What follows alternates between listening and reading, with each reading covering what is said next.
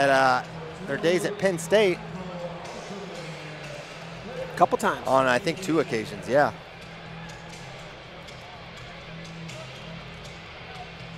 Seventeen and eighteen, and now they're set to compete.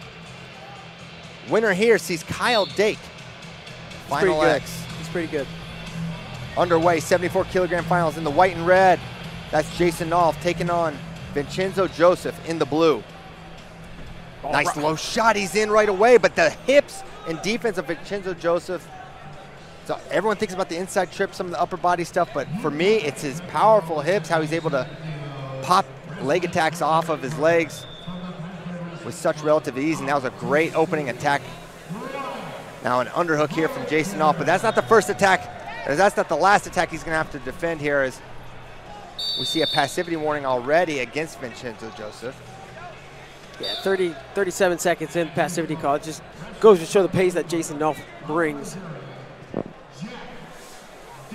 Nolf definitely more known for his leg attacks than Vincenzo Joseph, but Chenzo's knee pull single is lightning fast, extremely effective. There's a low ankle shot, and he pops his head to the outside. Those are Chenzo's points, and Jason Nolf's in trouble. Oh, he fights off his back there. Just two. Thought that might be four, but I think Nolf was on his knees for that finish, so just a two-pointer there. Maybe it's just the way. I looked like a giant smile on Vincenzo's face going through that sequence. Maybe it's just his, his mouth came open, but He's a smiley like- guy. So they they do go four. yeah. Assume that was a feet to back straight four because initially they just had two on the scoreboard. What a counter there from Vincenzo Joseph, but with Jason Nolf down four, not the biggest deal. And those are the hips you're talking about. Yes. Flung his hips right over the top. I mean, he was in on that double and, and lifting. He started on the single, popped his head to the outside, and was coming up. But great defense from Vincenzo Joseph.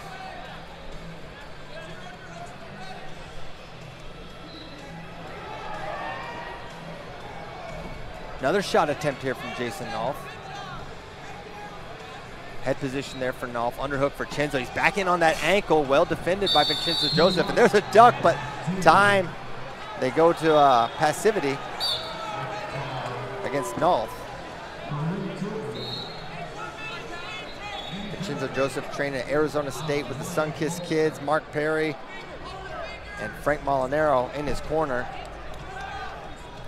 Molinaro was one of Vincenzo's coaches at Penn State previously.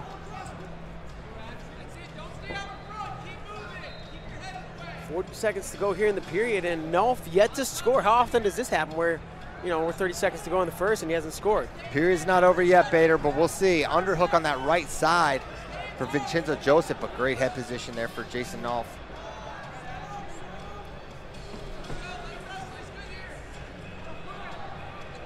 Now 20 remaining, and they're just kind of hanging in this underhook position. The official blows it dead, 18 to go. And Nolf's fearless. He'll, he's not afraid to go in again, and go in he does. He comes up with a seatbelt. Great hips, but maybe can he come to a body lock? Five seconds remaining here. Running out of time in this period is Jason Nolf. Trying to lift and get the step out. I think he ran out of time. No points. 4-0 Chenzo at the break. This will be an upset, Bader. Absolutely. And again, those hips, you know, Nolf keeps getting in deep, and it's like the hips of Vincenzo are what's keeping him from scoring. And Jason Nolf made it to Final X last year and was able to score a takedown against Kyle Dake, which against most people, you, you don't cite a singular takedown as, as an actual relevant data point. But against Kyle Dake, that means a lot. Yeah, 4 nothing. Vincenzo Joseph in the lead as we head to the second period. And what does that say about Vincenzo Joseph's defense? That he's been able to thwart off four or five really strong attacks Jason Nolf. Yeah, one not just thwart off, but turn it into his own four. The ultimate thwart. Short offense here for Vincenzo Joseph, and they clear out of it. Now you wonder, can the pace of Nolf wear on Vincenzo Joseph? Another shot attempt here. You see Bo Nickal over in the corner for Jason Nolf, of course, U23 world champ. Peek to this body lock. It's a good position for Jason Nolf. Nothing, Nothing here, yet. nothing here. He's trying to peel the That's got to be one and one for Caution sure. One. Caution one. Yeah. So that's going to make it 4-2. One on the step out, one on the caution, one for backing straight out of bounds. But you take that over the alternative, which looked like he's going to get thrown to his back. So it's going to be 4-2 Vincenzo Joseph. A takedown for Nolf is not going to be enough. He's going to need to get to a fifth point. But he kind of dropped hard to those knees, comes up, come up with a body lock, almost put him down to his back, but Vincenzo's like a like a cat, just lands on his feet, was able to square up. Most people are going straight to the back in that position. And then he tried to stand up and cut away. Yeah, a little- fight in the hands. a little folk style uh, escape attempt.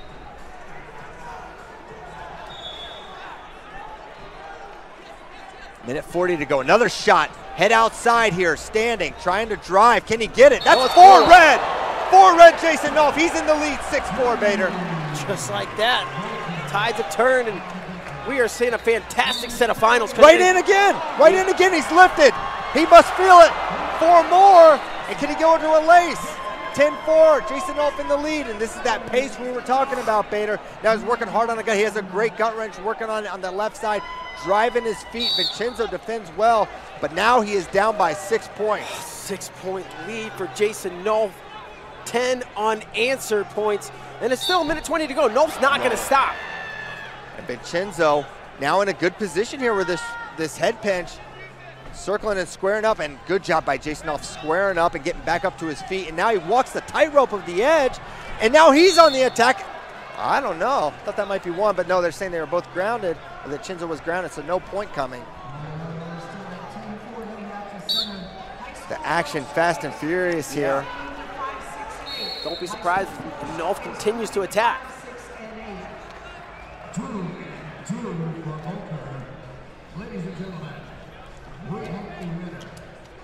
Jason's certainly grown since his collegiate days, where he was a 157 pounder. There's a shot. Now looking re-attack is Jason Nolf, and there's going to be one. No, let's see. White paddle by the judging chair. They're saying grounded again. 42 seconds to go, though. Nolf in the driver's seat here.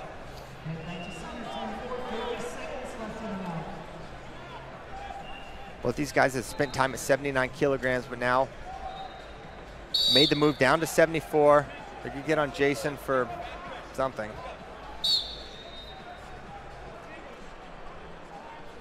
Interlocking fingers, now they break free. There's a shot from Vincenzo Joseph, 27 seconds to go. Nolf looks like he's kind of shifted his intentions here. Just wants to be cautious and defend. Which could be a smart tactic given the danger that Vincenzo Joseph presents. There's a double to single from Vincenzo Joseph, but a sprawl from Jason Nolf as he goes to a front headlock. And now with seven seconds to go, they'll go back to center. Six point lead for Nolf. What a second period. What's it, three matches in a row? Yes. They're going to hit Nolf for backing up. Hmm, I guess, whatever. Uh, And with that is going to do it. What a second period from Jason Nolf. It was 4-0 Chenzo at the break. Nolf goes berserker mode. Score, score, score. Just like a 30, 45 second run where he was just attack, attack, attack, and he put so many points on the board. Jason Nolf, Kyle Dake, Final X, June 10th. The rematch is going to go down at the Prudential Center in New Jersey. Get your tickets. Or you can watch live, of course, on FloWrestling. Look, sideways hat. What a cool dude. Presenting the Senior Men's Freestyle Awards this evening is That's how Bader wears